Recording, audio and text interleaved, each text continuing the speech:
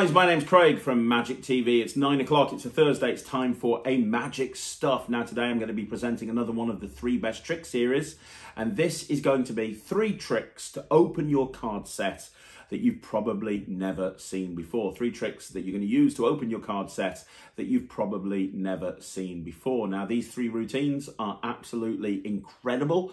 They are all routines that I have used all of the time in my professional act. And I think it's very important if you're going to use playing cards, you do something really unique and really different with them at the very beginning. And the reason is if you do just, if you're going to be doing a lot of card material, right?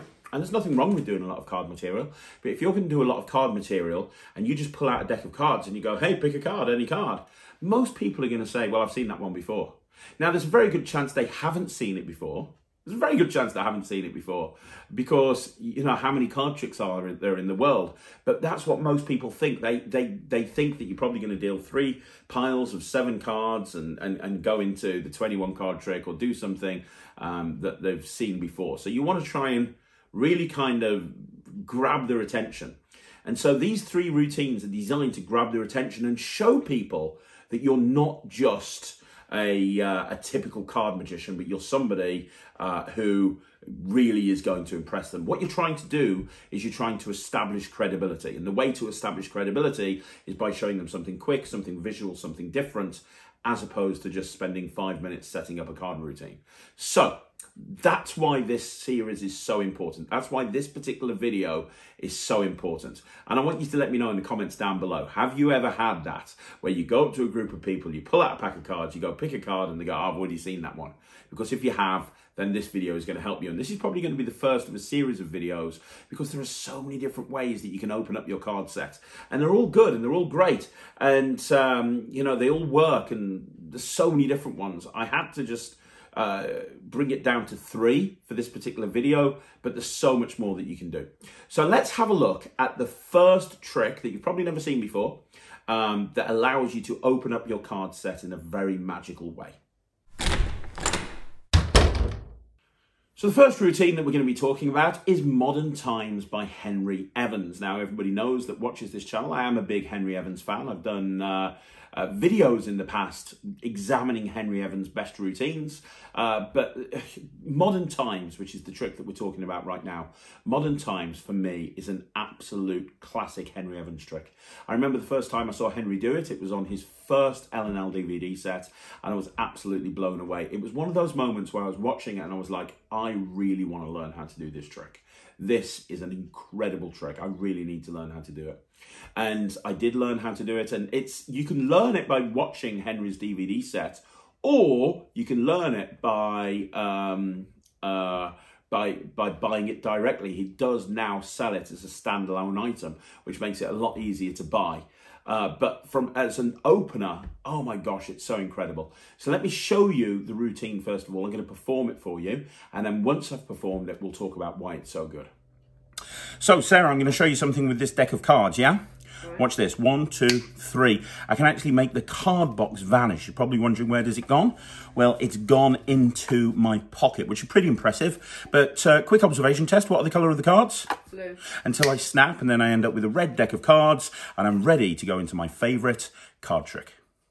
So, I mean, how visual is that? You literally 20 seconds into the routine, you've done some incredible magic. Think about that. You bring out a deck of cards, you immediately make the card box disappear the card box jumps into your pocket, you hand it out so that people can see it's a normal card box, and then boom, the entire color of the deck changes as well. I've done this on TikTok and I've done this on sort of YouTube shorts and had insane reactions to it, especially on TikTok. Um, the nice thing is it's very easy to do. It's two custom made flap cards um, and that's it. So how easy is that? I mean, it is so incredibly easy to do.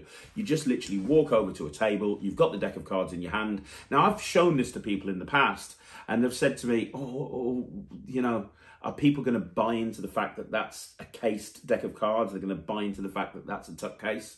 And my answer is very simply, Yes because they don't know what's going to be happening, right? They've never probably seen magic live before. You've just walked over and interrupted them and said, hey, I want to show you some magic. They look down, they see a card case. That's what they see. That's what they assume it is. Um, there is no issue there. Trust me. Do not run if you're not being chased. But you, you say, hey, I'm going to show you something with the deck of cards.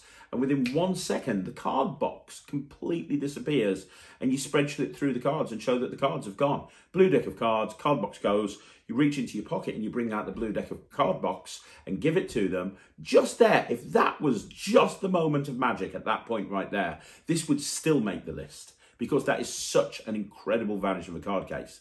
But now you're going to hit them with a super color changing deck because now you say, well, let's see if we can go one step further. What color's the deck?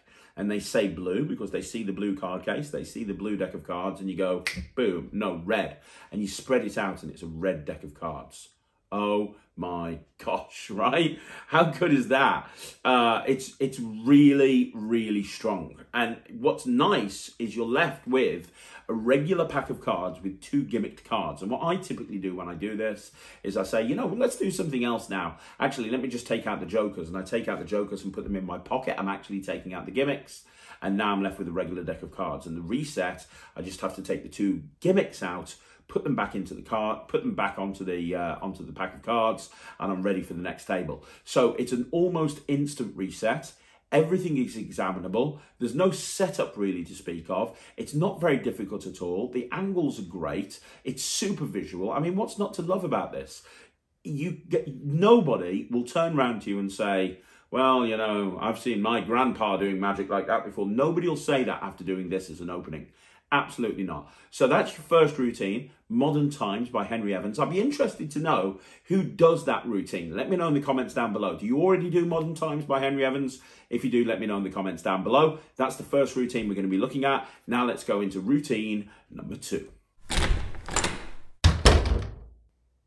The second routine I want to talk to you about is Freedom Pack by Justin Miller. You don't know who Justin Miller is, I've interviewed him on the channel. You can check it out in the Talk Magic playlist. He was one of the first interviews on this channel.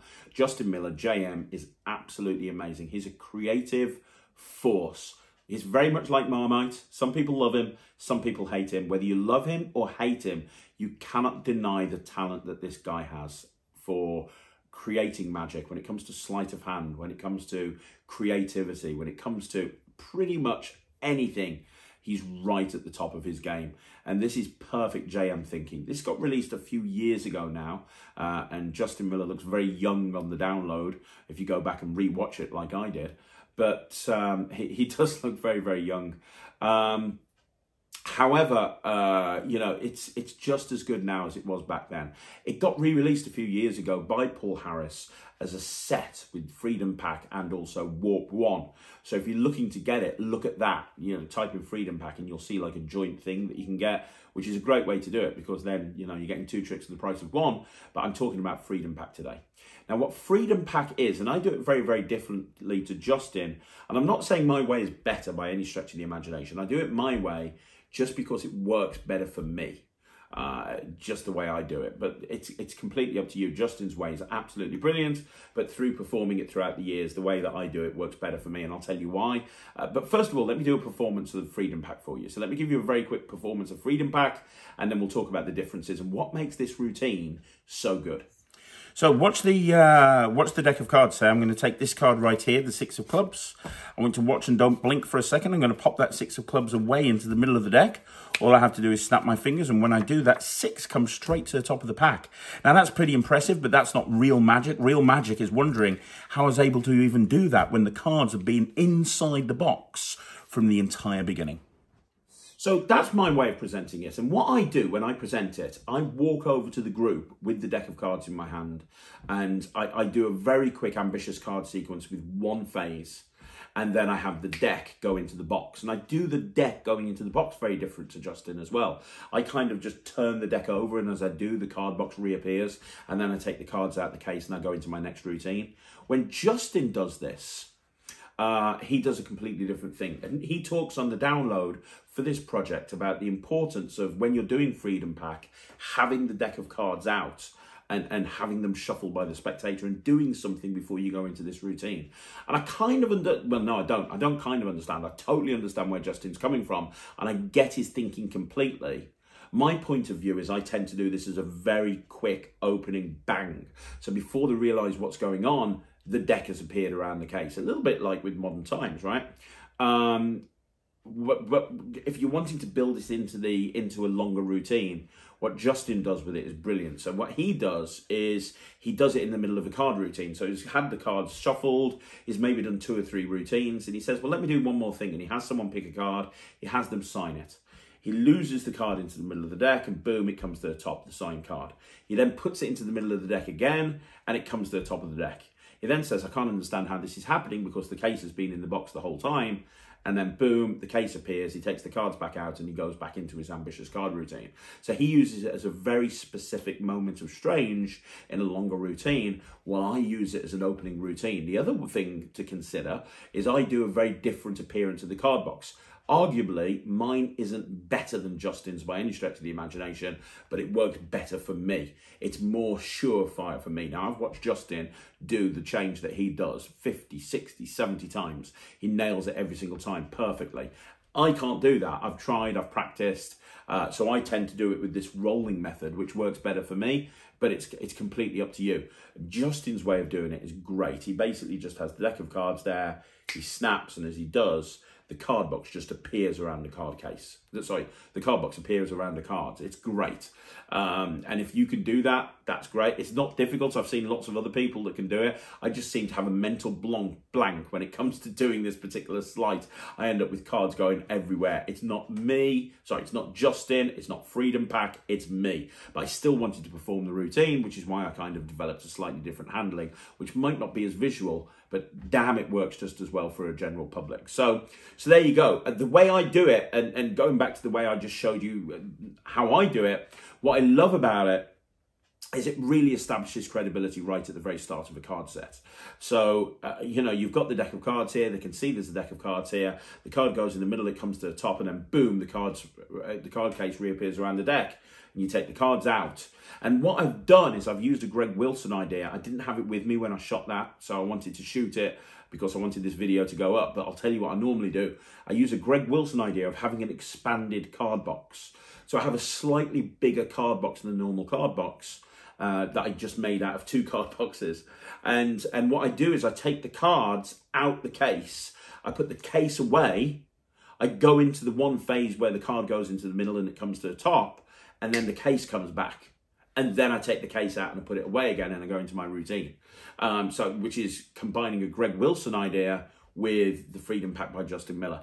Either way, it's an incredible routine. It's very, very easy to do. As I say, I've got a mental blank with the way that Justin makes the card case appear. But like I say, that's not Justin. That's not Freedom Pack. That's me.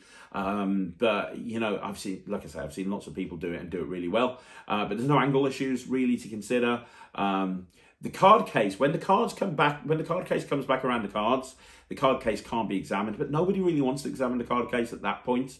You take the cards out and you give them the cards to be shuffled. That's where they want to focus for some reason. You just put the card case away again. So really, that's not an issue, I'll be honest with you. Um, but yeah, I mean, the whole purpose of me putting this video together was to showcase card routines that you can do that really establish credibility. And by God, that is one that works and works really, really well. So it's called Freedom Pack. You can get it directly from Justin Miller or from all good magic dealers. The final routine I want to talk to you about today, I've already mentioned on this channel before. Uh, when I did the Henry Evans 5x5 special, I actually performed this. Uh, in fact, I've mentioned it twice on this channel. I included it in the best openers of all time. I also included it in uh, the Henry Evans special. But the reason is, I do this routine all of the time.